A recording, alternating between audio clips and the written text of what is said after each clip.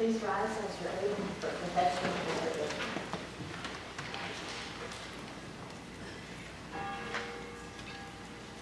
Blessed be the Holy Trinity, one God, full of compassion and mercy, abounding in steadfast love.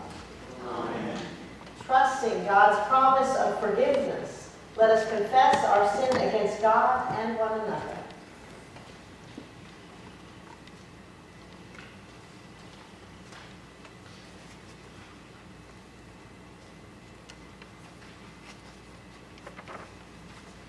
Eternal God, our Creator, in you we live and move and have our being. Look upon us, your children, the work of your hands. Forgive us all our offenses and cleanse us from proud thoughts and empty desires. By your grace, draw us near to you, our refuge and our strength. Through Jesus Christ our Lord. Amen. Since we are justified by faith, we have peace with God through our Lord Jesus Christ. God's love has been poured into our hearts through the Holy Spirit given to us.